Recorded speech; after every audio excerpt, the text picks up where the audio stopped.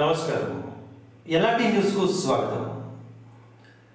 కార్మికుల పక్షాన ప్రాతినిధ్యం పోరాడుతూ కార్మికులకు అనుకూలంగా అనేక హక్కులను సాధించిన సిఐటియు వ్యవస్థాపక అధ్యక్షుడు బిటి రణదేవ్ ముప్పై మూడవ వర్ధంతి సందర్భంగా వేములవాడపట్నంలోని సిఐటియు కార్యాలయంలో ఆయన చిత్రపటానికి పూలమాలలు వేసి ఘనంగా నివాళులు అర్పించారు. సిఐటియు వ్యవస్థాపకుడు కార్మిక హక్కుల పోరాట నాయకుడు కామ్రేడ్ డ్యూటీ రణదేవ్ గారి ముప్పై ముప్పై మూడవ వర్ధంతి సందర్భంగా ఈరోజు వెమ్రవాడ డివిజన్ సిఐటి కార్యాలయంలో ఘన నివాళులు అర్పించి వర్ధంతి జరుపుకోవడం జరిగింది. ఆయన సిఐటియు వ్యవస్థాపకుడు.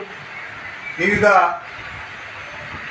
సంఘాలను పునరుద్ధరించి కుల సంఘాలను కూడా నిర్మించి కార్మికుల హక్కుల సాధన కొరకు ఉద్యమంలో పాల్గొని ప్రజాసేవలో పాల్గొన్న వ్యక్తి ఆయనకు ఈరోజు నివాళులు అర్పించడం వర్ధంతి జరిపి నివాళులు అర్పించడం జరిగింది.